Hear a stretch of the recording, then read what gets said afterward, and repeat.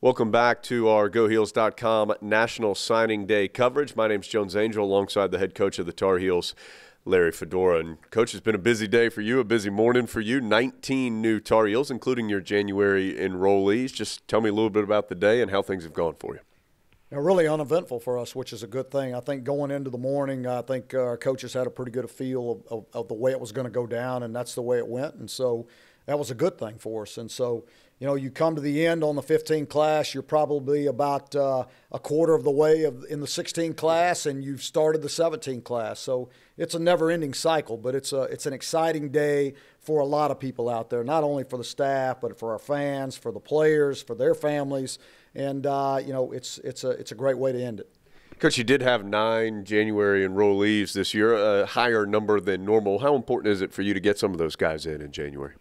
Well, I've never had nine before, so we, we were excited to get those guys in here. All nine of them are obviously taking classes.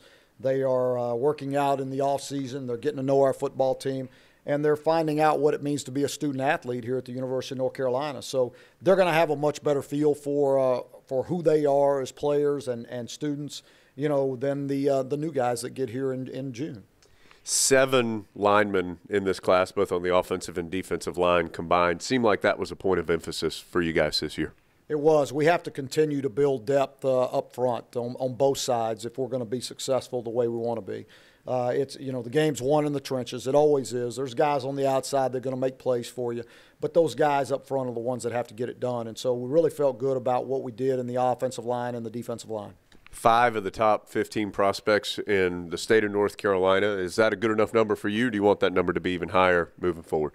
Well, we, we want everyone. I mean, uh, you know, we're, we're going to always go after the, the top kids in the state, and we, we expect to get all of them.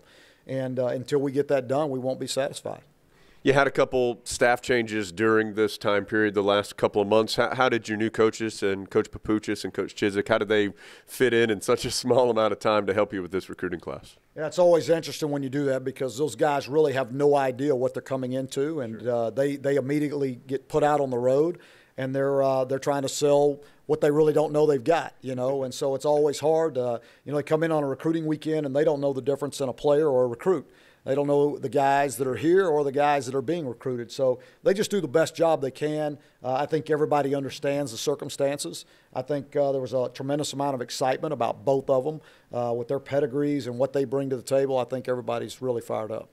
Coach, have you gotten a better feel yet for your, your defensive scheme moving forward? You and Coach Chizik talked about that and how you want your defense to look moving forward. Yeah, we we've talked about it, and we talked about it uh, quite a bit as we were, you know, going through the process. And so, you know, Gene's going to base out of a 4-3. That's going to be the base of our defense. I mean, we're going to be a, you know, attacking, uh, very aggressive style of defense. But I think it's something that, you know, if you look back, uh, you know, in the defenses that he's coached in the past, I think, you know, he's he's had some pretty good defenses and, and he, he knows what he's doing. So I'll turn that over to him and let him figure out how he wants to do it. Coach, you mentioned this a, a, moment ago, but you've been just as busy talking to, to future recruits, guys in the 16 and 17 class today, as you have uh, locking up things uh, for this particular class. Yeah, I would say, uh, you know, that's why I said at the beginning, I mean, this is the end of this one, but yeah. we're, we're well into 16 and 17. And, and actually, we have, you know, there's been contact with 18 kids. I mean, you know, so I mean, there's guys out there that we know that are freshmen that, that we have an interest in already, and, and we're going to continue to, you know, build a relationship with them as they come on our campus. Last thing, Coach, and this is such a broad question. Do you feel like you filled the needs that you had coming into today with the class that you signed? Yeah, we really felt good. It's a it's a balanced class, you know, uh, bo- on both sides of the ball. I believe we at least signed one guy at every position. Uh, you know, we're, we're really not trying to just fill one hole on our football team. We're trying to continue to build depth.